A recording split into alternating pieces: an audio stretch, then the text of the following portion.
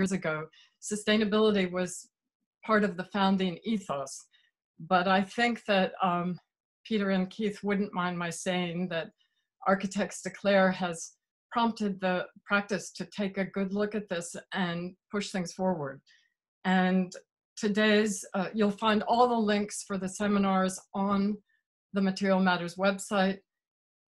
Part of Architects Declare is about knowledge sharing, and that's also what this afternoon is about.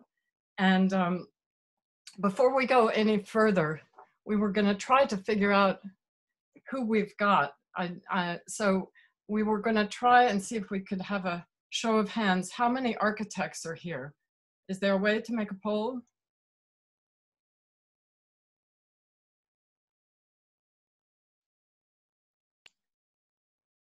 I, I think if, people can just put their answers in the chat, that would give us an idea. Put your answer in the chat box. I thought there was a way to raise your hand, but we haven't perfected it. Yeah, um, raising their hands. They're raising their hands. Okay, let me go to the gallery view and get a sense of what's going on. How do I see every, I can't see 110 people. Uh, one second.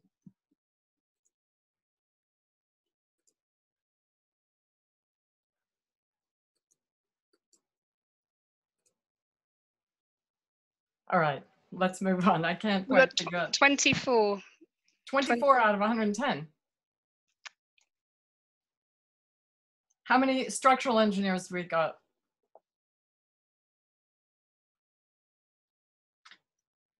Okay. What about service engineers? And students? Okay, one last question, and this is for everybody. How many of you have been directly involved in a project with an embodied carbon analysis carried out?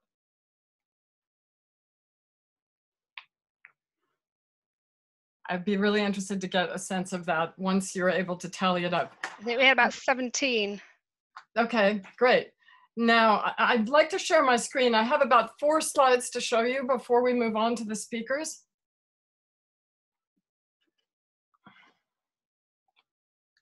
Can I share? Yep, yeah.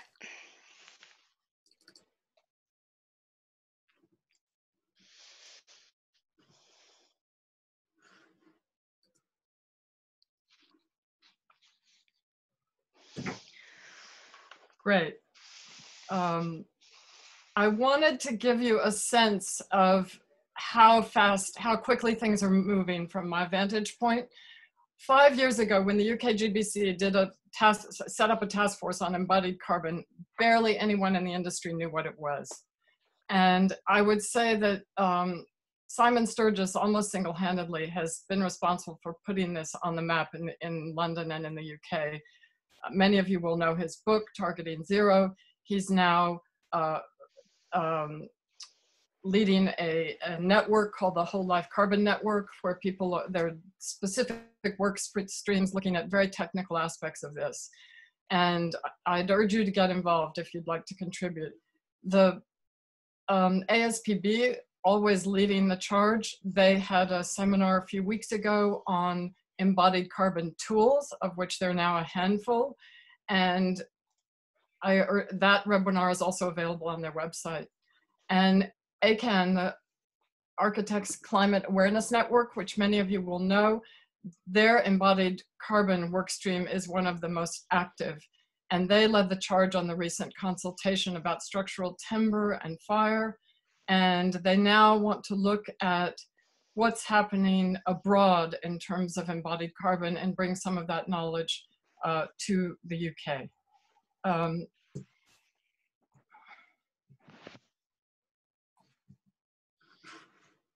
let's just see, can't seem to move forward. Oh, um, at the at the AJ, we've also been talking a lot about embodied carbon and particular about whole life carbon. This is an issue from last year. My colleague Will Hurst was instrumental in putting this together. And really we need to be looking at whole life and embodied carbon. Um, retro first, Obviously, we save the most carbon if we retrofit the buildings we've already got. I don't know how many of you know this project in Poplar. It's quite remarkable. It's a retrofit, office retrofit, where the interior atrium has been um, largely filled in. That's a before and after with a CLT structure, a kind of interior facade workspace. Um, I put this in as a bit of a provocation. We're talking about materials today. Don't know how many of you have read this book. I finished it during lockdown. This is my, it's a 600 pager. This is my ear, ear, dog-eared copy. It's, it's all about the love of trees. We all love trees. We all think we should be using more timber, but the question is, is that really right for every project? Perfect. Now we're going to move on to the next speaker. Each speaker is going to present for 10 minutes. I'm going to give you a two minute warning uh, before at, at the end of eight minutes. And at the end, we will have a question and answer. Please put your questions in the chat box uh, because uh, there are two people on from Feilden Clegg who are going to be fielding the questions and feeding them to me. And we'll have ample time for questions at the end of the presentations. Um, I think this is a particularly expert group of people to speak in depth about materials, which is, I think, what architects really need to get to grips with. So um, the first speaker is Eve McNamara from Expedition Engineering. She's a structural engineer. Um, she's an associate at um, Expedition, and she was part of the UK GBC Future Leaders Group a few years ago. I've come across many of these people in my work on sustainability because it really, I think leading the charge is, is really what everyone should be doing. So um, Eva, let's hear about concrete and steel from you. Great, thank you. I think you need to stop sharing your screen. Right. Great, and I'll take over. Thank you for that introduction. Um, so share. Is everyone able to see my screen now? Yep. Okay, great. Um, so thanks for that introduction, Hattie. I'm going to talk about uh, steel and concrete, which are a massive part of our industry. So although there's a bunch of good and emerging materials coming out that are definitely lower in carbon, I think understanding how we work with these materials now is really important. So that's what I'm going to go through today. Um, so to understand that impact, uh, if steel and concrete were countries, carbon emitting countries, they would be the third, fourth largest um, carbon emitters in the world. So after China and the US would come steel and concrete. So that really shows um, how big this problem is and how much emissions are really to do with our industry. Um, so today we're all going to kind of um, speak about the different parts of what makes up embodied carbon. Um, and I find this diagram, um, which was um, put together by Na Dr. Natasha Watson, um, based on the, the Sustainability of Construction Works, the BS EN 15804. Um, and basically why, why I like this diagram so much is on this right hand side, basically it shows how um, everything that goes into the cradle to gate part of the embodied carbon process, which is often what you hear talked about.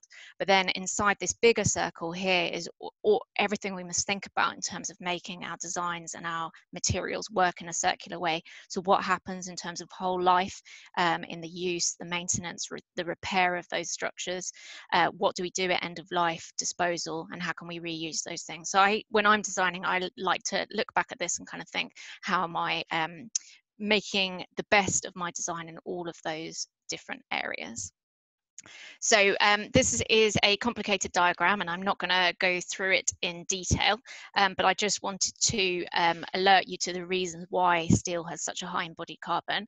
Um, and essentially, so um, iron ore, coke and limestone go into making steel. And if you can see all of these hot areas on this uh, map, basically those are all really carbon intensive processes, really high energy furnaces, about 1500 degrees that go into making it. Um, I want to, I'll come back to this later, but I just want to draw your attention to um, two different things here. So you've got basic oxygen steel making. So that basically has virgin steel coming through it and only uses maybe 10 to 15% of scrap steel can go back into that. In contrast with the um, an electric arc furnace, which basically takes 100% scrap or up to 100%, so 90 to 100% um, scrap steel in there and um, uses greener energy often to produce to to get that steel again. Um, so then concrete. So, sorry, the way I'm going to do my talk is flip between the two materials as we go along. Um, I hope that's useful. Um, but I had to try and find a diagram to show you how do you make concrete. And actually, I, what I thought was quite interesting is um, the diagrams aren't very modern. And basically, that shows that we haven't really changed very much about our modern industrial production of concrete in the last few decades. Um, so this diagram still stands.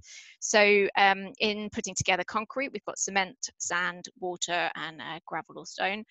And um, cement is the high embodied carbon part of um, concrete. So over on the left-hand side here, you can see um, that again, it's going through a kiln that is heated up to a very high temperature, so um, using a lot of high embodied carbon energy there. Uh, and also in the chemical process that produces it, you've got um, carbon emissions associated with that. Um, I'm not going to dwell on transport, uh, but that's something we should all consider in all of the materials that we're specifying um, that will always contribute. Um, so how are these materials used? Um, we're all familiar with uh, how they are kind of typically used in our um, industry, but actually how much of the steel that is produced globally is used in our industry. And actually it's uh, quite surprisingly high. It's 51% for buildings and infrastructure. So again, that's really saying that um, we need to think responsibly about how we supply it. Um, remembering again that steel was the kind of third biggest country if it were a carbon emitter. Uh, okay, and concrete, not such a nice diagram, but uh, basically almost all of the cement, that high embodied carbon cement that goes into the concrete is used in the construction industry. Um, so uh, yeah, very high processes. So um, we need to think about how to use these materials, but in a better and low carbon way. Um, and recognize that we are going to probably continue designing in steel and concrete for quite a long time. So how do we do that better? So um, next to talk about end of life or next life. So thinking about circular economy principles. So historically, we kind of use a linear economy that take, make, dispose. To get the best out of concrete and steel, we need to really think about that circular economy principle and how to reuse in its highest, most valuable way. So for a steel beam, for example, that would be reusing it as a steel beam as it is. Uh, same for concrete, but obviously we don't do that very much. So to understand the reality of what we do now, almost 100% of steel that comes to its end of life is recycled rather than reused. Um, and if you remember, I talked to you about that electric arc furnace. So scrap steel can go back into that lower energy process and come out as a kind of, um, you know, lower lower embodied carbon for that next use um, in compared in comparison with virgin steel um, but you know that's that's still melting it down. Um, and concrete is almost never reused in its kind of high grade version, as in in itself originally and most often is recycled as um, rubble from building sites. And uh, that goes into kind of landscaping roads maybe used as a piling mat um, that sort of thing. So um, we're not there yet. We need to think of alternatives for these. So perhaps with concrete, it might be something like saying um, if we do post-tension concrete, um, because when we try to separate concrete from reinforcement, it's really difficult. That's why we don't really use, reuse it very much. So if we do post-tension concrete where we don't bond in with the um, reinforcement, we could maybe take those part those things apart and reuse them um, more easily. For steel, have better inventories between um, developments of what people have got and what people can share, because you know very often we're specifying an off-the-shelf um, beam. So why aren't we doing better at reusing those things? Um, so I just want to cover you a couple of um, examples um, of design. So if we think holistically about how to kind of achieve our overall aim of reducing the embodied um, environment. Sorry? Two minutes. Two minutes, okay. Reducing the um, embodied environmental impact of building structures. We've got the lifetime structural engineering, so we want to think about um, the durability of the structural elements, maintenance, future flexibility, design for deconstruction, and then in the eco-efficiency of the structure, putting material in the right place and with the right specification of material. So here, which of these two would you think would have the lowest embodied carbon? You'd probably think it would be the section here, which has about 25% um, less material in it. But actually, because this um, this beam here is made up of plated section. Plated steelwork can only currently come from through the um, virgin steel making process, whereas hot rolled sections like that I-beam at, I-beam at the top can come through that electric arc furnace that can use 100% recycled steel. So actually that section's got the lowest embodied carbon and this one's got the highest embodied carbon and you'd have to lose about 50% of the material before you became more carbon efficient um, using a tapered section. So I think that's really interesting discussion we should be having as design teams. It's not just necessarily about looking at reducing materials, it's about how our um, products come about.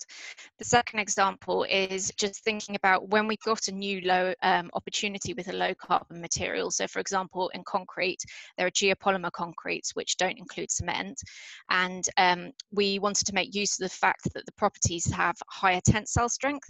So we're working with Network Rail at the moment who are really great with their decarbonisation program. And one of the things is they have premature degradation of their copers quite a lot because there's a lot of um, abundant use of de-icing salts in the winter, which basically mean the reinforcement is degrading and then these um, you're having to prematurely replace it and going for whole life. Uh, that really affects the whole life carbon. So in uh, this bend test up here, you can see an unreinforced uh, panel and how well it's performing um, in this bend test. So we're looking at taking out the reinforcement so that we don't get premature degradation. So actually we end up with a better whole life solution so that you don't have to replace um, that element over and over again. So what I just say is um, seek new materials with differing properties that might solve other problems that lead to whole, whole, lower whole life carbon and um, check that your good intentions really do end up with a lower embodied carbon. So collaborate with your design team and seek the help of experts um, to move things forwards because there's new emerging technologies all the time and we're all learning on this subject. Thank you.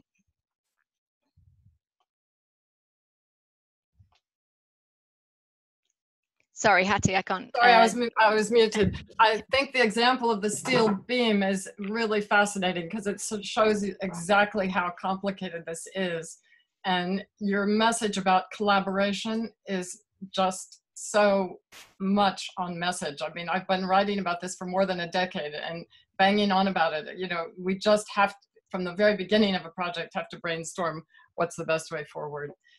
Um, okay, now we're going over to to timber.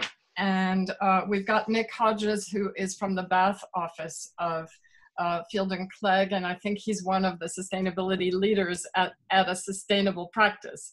So he is going to talk to us about various different aspects of, of timber. Thanks, Hattie. Um, okay, hope everyone can see this okay. Oh, skip the slide, of course.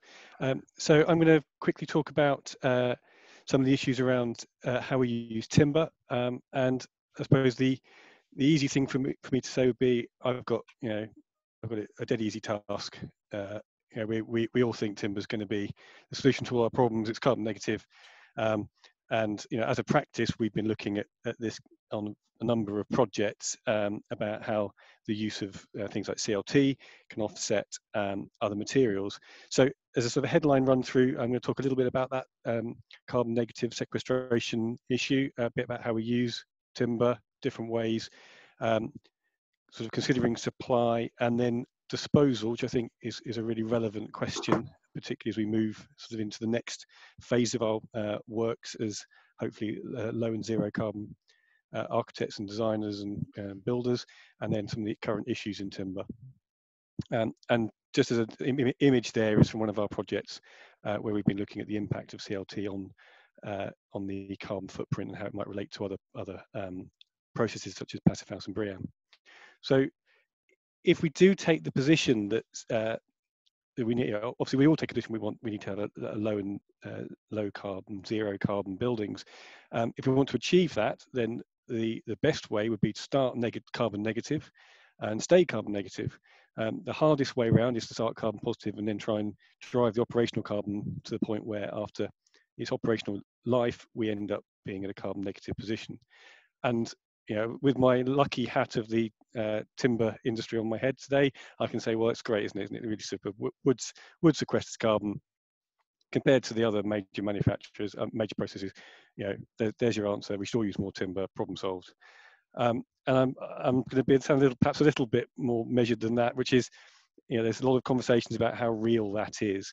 Um, quite a few um, sort of ways of, of of analyzing that or cutting up that cake, and um, you know whether you just take you do you do say there is some CO2 there, or you say there is some sequestration or sequestration plus the next growth of timber. Um, and I think you have to sort of come to some place of peace with it um, in terms of how you're doing your own carbon analysis. As a practice, we've sort of landed on that middle ground. We, we think there is some sequestration to take into account for uh, that is useful, uh, but we don't think we can quite go to the, the far end of including the, ne the next tree, because I think we probably feel the next tree will get used as well. And if we're talking about sequestration, well, when's the best time to, to use that timber? Um, and obviously this has a big impact on where you get it from, um, the uh, sorts of managed forests, particularly that we'll, we'll be engaging with. Um, and it looks like for a, you know, a softwood spruce tree uh, on a two meter spacing in a managed forest, you're looking at about 50 years as an optimum harvesting point. And that's when the uh, sequestration of carbon or carbon absorbed starts to sort of tip over and sort of flatten out a bit for the later part of the tree's life. So it gives you a sense of where, you know, how, how long this tree will have to be there before we get our, our hands on it. But you know, then sort of then stepping back to the whole the whole sort of timber industry, you know, how we use timber. Well, we've used it for a very long time. And historically, we used it as framing. Um, but as the industry has evolved, particularly over the last 150 years, we've seen more uh, engineering of timber. We've seen more uh, looking into how timber can be maximized or the tree can be maximized. And so those early generations of things like glulams and plywoods, we've moved into um, CLTs, wood wool insulation, um, and timber fiber board insulation boards, um, things like shingles, internal joinery. And I think you know we are very good at maximizing um, what we get from those trees. Um, and essentially we can do it to to make almost anything in a building apart from the foundation so uh, from most of the most experiences that we all have, I think. Um, and it's a variety of different approaches as well, from balloon framing to CLT, almost like a sort of cardboard cutout where you get all the holes cut out for the walls and windows and, and just land it on site. So it is a very efficiently used material um, when we get it. The other question is, where is it? And I think, again, those of us in the industry, we're fairly used to seeing you know, those big producers in Germany, Sweden, Finland, Austria leading the way. Um, these are the um, sort of production from sawn and roundwood production in, in the EU over the last around about the last 10 years. Um, you know, the UK sort of sitting down there with quite a low figure. And for those of us working in, in the UK using higher quantities of timber, particularly in CLT and other uh, structural elements, you know, we, we're, I think most of us should be aware of those issues around transport. Um, you know, where is it and the quantity of it that we're going to be working? How are we going to get it to our sites? Um, not to say there's a, a question left about that, but if we're bringing it in from Austria, we've got to drive it in on a big truck. It's, not necessarily the most sustainable thing. And have we got the availability and the control? Um, the UK historically had a lot of forests, but we cut them down and used them to making ships, uh, and they were often hardwood forests. Um, those sorts of materials, we need to sort of think about how we engage in them. And also biodiversity. If you've got a, um, a source of softwood, a very bio, you know, potentially a, a limited monobio culture of very closely packed um, softwood trees, are we getting the best out of um, growing trees that are sequestering carbon and helping with the broader climate crisis versus not having the biodiversity we want. Um, those growth periods, that 50 years, it being a sustainable resource, it being the right sort of timbers that we want to use.